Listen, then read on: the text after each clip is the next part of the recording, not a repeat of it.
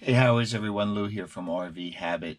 I'm going to show you five gadgets that I've installed that uh, I always use when I'm driving my RV and uh, maybe a few more also. But I'm going to leave links to everything I show you in the description below and I'll also do a blog article on my website, rvhabit.com, and I'll have all the links and, and more information on it. Um, and the first thing actually is the radio that's actually installed in my RV uh, that comes pre-installed, and that's the uh, the Jensen radio. Now this has a lot of different options. It also has the availability to use as a navigation system and a backup camera. Now I do not use it for the navigation. I don't find it too reliable and uh, I just find a secondary GPS a lot better. I'll show you that in a second what I've installed.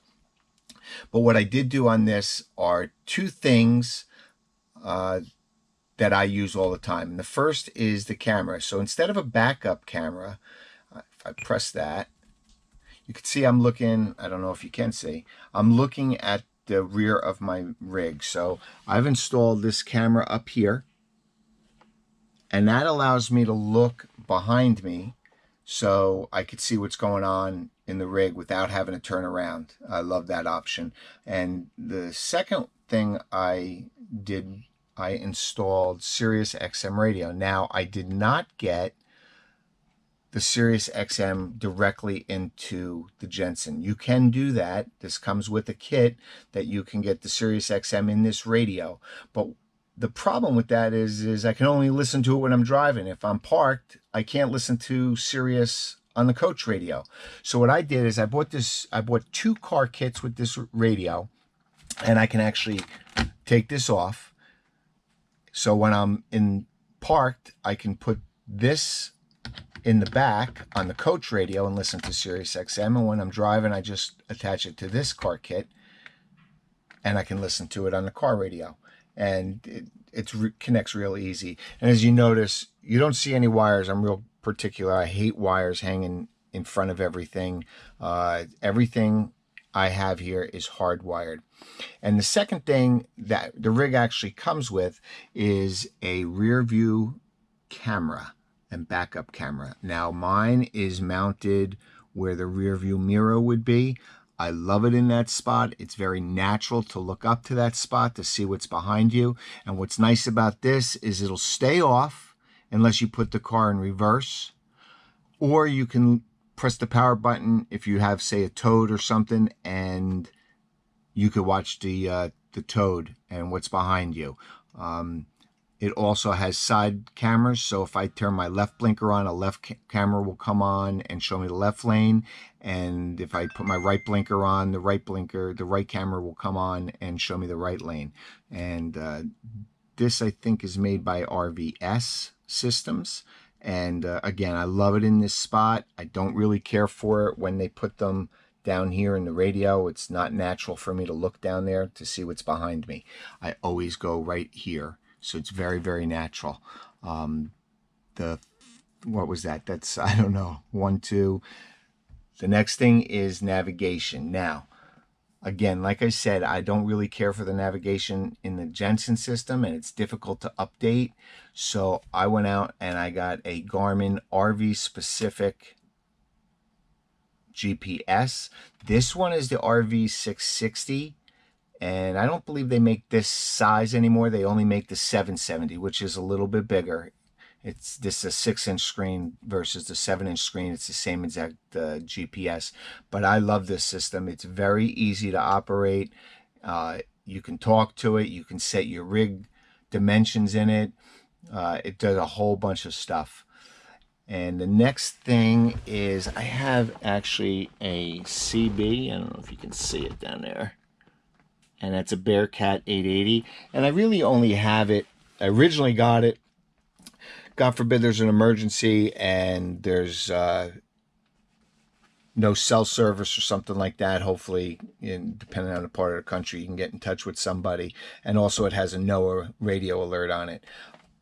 But I also installed, I'll show you this, that is a Midland I think it's XT275, and that is a GMRS radio. And what's nice about that is it does have NOAA alerts in it, but it also allows you, if you're traveling with somebody, it allows you to talk to them, uh, you know, in, in another rig or something like that. It's basically, if you don't know what GMRS is, it's those little pocket radios you can buy for like $30.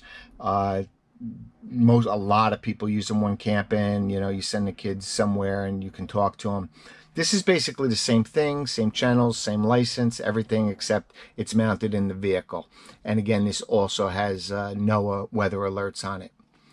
The most important thing I probably have, and I would recommend everybody who travels in an RV or uh, pulls a trailer, is a tire pressure monitoring system. Now, I use EEZ Tire. Uh, I got it off of a couple recommendations from other RVers and I like the screen size and everything. Uh, this thing works fantastic. Now this is my RV, this is my Toad. Right now, what's nice about this unit is you can actually unlink your Toad. So if you're not pulling your Toad, it will not be looking for the tire pressures and give you warnings. So you can just use it with the main RV or if you're pulling a trailer, just your truck or car, or you can link it back up and you can also monitor your toad and or your travel trailer. And like I said this one I don't know if you can see that with the light but this one works really really well. I've had no problems with it. I would highly recommend it. Uh, there's a bunch of brands out there. I really can't uh, speak to the quality of them. I've never used them. I've only used this brand but as I said this brand I'm very happy with. And that's about it uh, a couple other things, maybe. I keep a USB plugged in so I can charge my cell phones if I need it. Uh, it has a 12 volt if you need something 12 volt. Um, oh, when driving at night, this cup holder, I have a Ford E450. It is pitch black in here and you can't see anything in this tray. So I installed a couple blue LED lights on this switch here. So when I turn it on, it lights this up just enough where you can see if you got to grab something, if you got to grab your cell phone or a cup of coffee or something, you can actually see it now. And what else? Oh, I have these levels. One here on a dashboard for left to right. And I have one on my door for front to back. And basically, all it does is when I'm parking, it allows me to see the most level spot. Now, I get it somewhat level. And then I use, uh, I purchased a Levelmate Pro. And if you guys don't know what that is, I'll, I'll leave a link. I did another video on that. I'll leave a link somewhere on the screen. But if you have an RV or a travel trailer, you need to do yourself a favor and get a Levelmate Pro. Those things are fantastic. You can level your rig within a quarter of an inch. It's just amazing. It works really, really well. And that's about it. Uh, Again, those are the gadgets I use when I'm driving. Those are my essentials. Uh, I'll leave description uh, links in the description below. I'll also do a blog article on my website RV Habit. I do appreciate everybody watching. If you enjoy these videos and uh, Jeep videos, be sure to hit the subscribe button. And as always, I'll see you soon.